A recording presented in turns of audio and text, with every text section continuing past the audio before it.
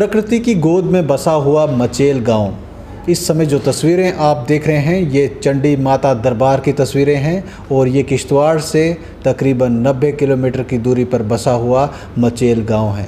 हर साल लाखों की तादाद में बाहर से श्रद्धालु यहाँ आते हैं और अपनी मन्नतें पूरी करते हैं। इस बार कोविड 19 के चलते अभी यात्रा पर कोई भी डिसीज़न नहीं लिया गया है कि आने वाले दिनों में ये यात्रा होगी कि नहीं होगी। मगर हमारे तस्वीरों में इस समय जो आप दृश्य देख रहे हैं, यहाँ पर आपको कुछ श्रद्धालु ज़रूर देखने को मिलेंगे। यहाँ के स्थानीय लोगों का कहना है कि इस बार बाहर से आने वाले श्रद्धालुओं की तादाद बहुत कम है। जितने भी श्रद्धालु यहाँ आ रहे हैं, मैक्सिमम ये लोकल लोग हैं। प्रकृति की गोद में बसा हुआ मचेल गाँव अपनी खूबसूरती के लिए दुनिया भर में मशहूर है। इस बार यात्रा को लेकर अभी भी असमंजस बना हुआ है और लोग चाहते हैं कि वो मचेल माता के दरबार में आकर अपनी मन्नतें पूरी करें, मगर कोविड 19 के चलते अभी सरकार ने इस पर कोई भी फ़ैसला नहीं लिया है।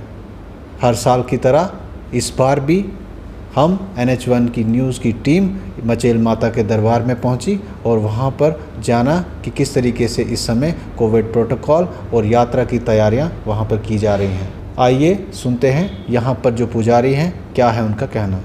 यहाँ पर माता रानी के हर किस्म के दर्शन होते हैं। जैसे कभी आँखें खोलती हैं, कभी उनकी जो चोली के नीचे घुंघरू बने होते हैं, कभी उसमें मूवमेंट आते हैं और हिलते हैं। अभी जैसे मैं आपको दिखाने जा रहा हूँ माँ सरस्वती की हार्ट बीट जैसे ला करके आ रही है। तो ये ठकर है।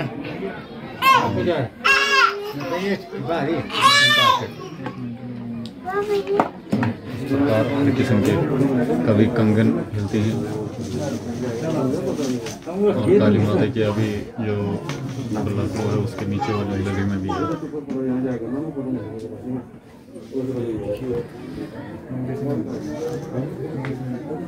एन की हमेशा से ही कोशिश रहती है, जब से कोविड 19 शुरू हुआ है अलग अलग धार्मिक स्थानों के हम आपको दर्शन करा रहे हैं, और माता मचेल मंदिर के भी ये दर्शन हम आपको घर बैठे ही करा रहे हैं। हम लोगों से आह्वान करेंगे कि कोविड प्रोटोकॉल का पालन करें, और जिस तरीके से भी गवर्नमेंट की गाइडलाइन आती है, उसका फॉलो करें। इस तरीके की खबरें हम आपको दोबारा दिखाएँगे। तब तक आप जुड़ रहे हैं एन न्यूज़ के साथ।